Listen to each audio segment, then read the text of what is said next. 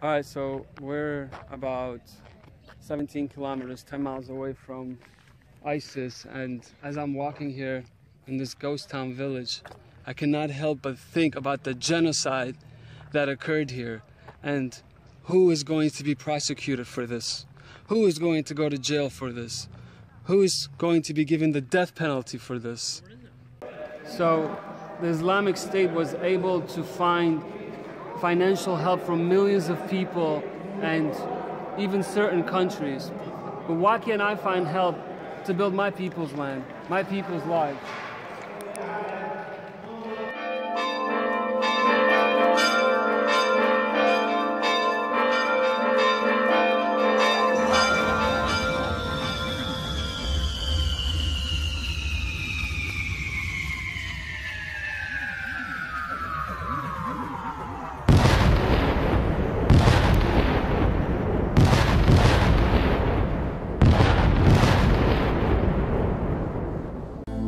عديت بومبي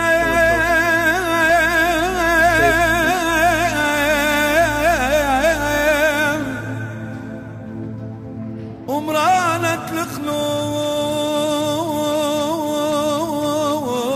الخلون The Islamic State took so much land so fast I didn't even have time to destroy all of the crosses.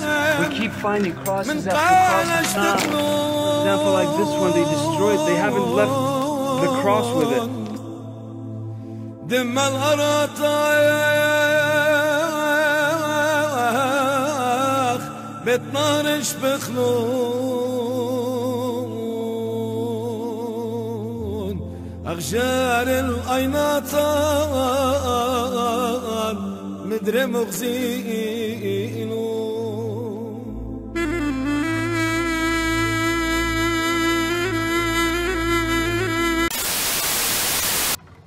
أخني لك باخ شو من دي يعني بس باخ درج أخل بتينا لك باخ هجرة أخني هجرة لك باخ أخني باخ درج أخل بتينا يعني من فهم من فهم من فهم من فهم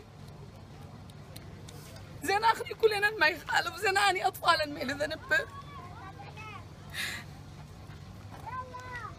Of course, it's an uphill battle. everything is destroyed. Literally everything. But there's been nothing that has proven to kill us in more than 7,000 years.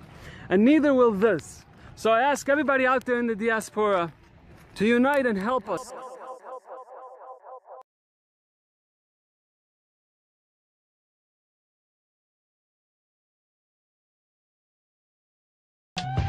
Good morning, Kurdistan, and welcome to the Breakfast Club on Babylon FM. Bali Bash, good morning, Sabah khair, Qadam Tokh Brikhta, what's going on, everybody? It's a Babylon FM, it's Babylon the FM only est la seule radio en langue anglaise dans tout l'Irak. And I take Et je pride suis in fier de ce que je fais. uh, Je fais en sorte que les gens ne pensent pas à la the guerre ou à or Daesh avec des programmes divertissants. C'est important. C'est un combat de chaque jour.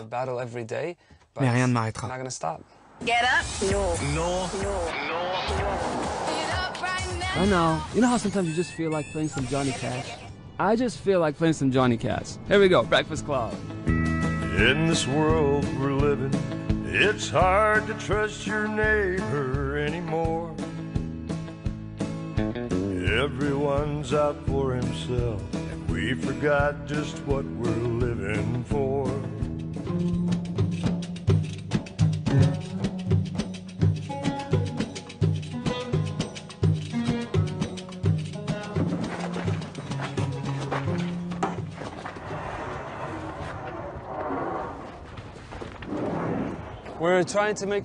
Ici, on va faire un centre pour la jeunesse. Vous voyez là Il y en a déjà qui se demandent ce qui se passe. Il n'y a pas beaucoup de familles qui sont restées, parce que Daesh est à 5 km. Mais avec ça, on va essayer de leur redonner le moral. Je suis né ici, en Irak, dans les années 80, pendant la guerre contre l'Iran. J'ai été réfugié plusieurs fois à la fin des années 80 et au début des années 90, jusqu'à ce que j'arrive aux États-Unis avec ma famille. J'ai grandi là-bas et j'y ai fait mes études. J'ai passé du bon temps. J'ai de très bons souvenirs et j'avais aucune raison de quitter les États-Unis.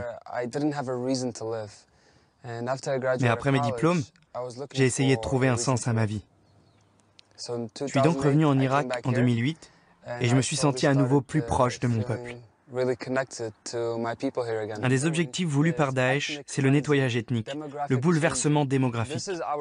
C'est notre terre. Cela a toujours été notre capitale. Ils ont fichu les gens dehors. Il n'y a que quelques villages encore habités. On essaie d'investir ici pour encourager les familles à revenir. C'est important.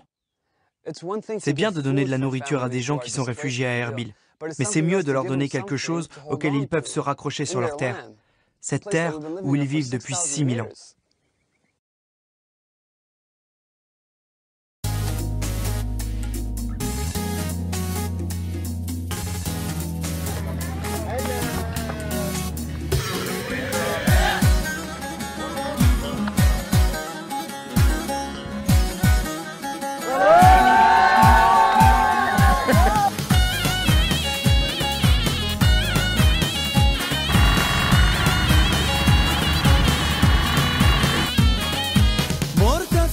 الجنش ثلاشالا وأنا تسطن البرواري بالا.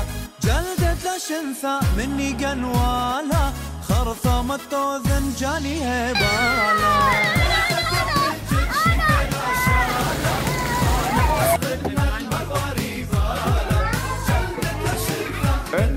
They repainted it all. مرولا صليادة يا وخخ وهرثة